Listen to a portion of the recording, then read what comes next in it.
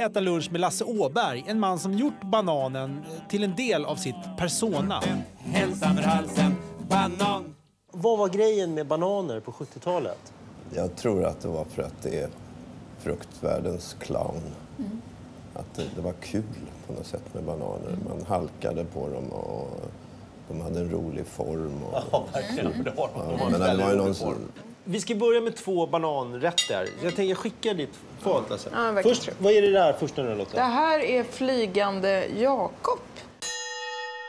Den har fått namnet från sin upphovsman Ove Jakobsson som var verksam inom flygfrakt. Ah, fly, flygande Ja. Jakob. Ja, det är liksom allting som är gott samtidigt tror jag. Vill, vill du ha så mycket Lasse? Ja. Nej. Ja. Nej. Varsågod. ja, men, men, jag, jag, jag, Men det är ju lite som med vissa rätter, att, att de inte överlever att, att åren går. Matvärldens V-jeans.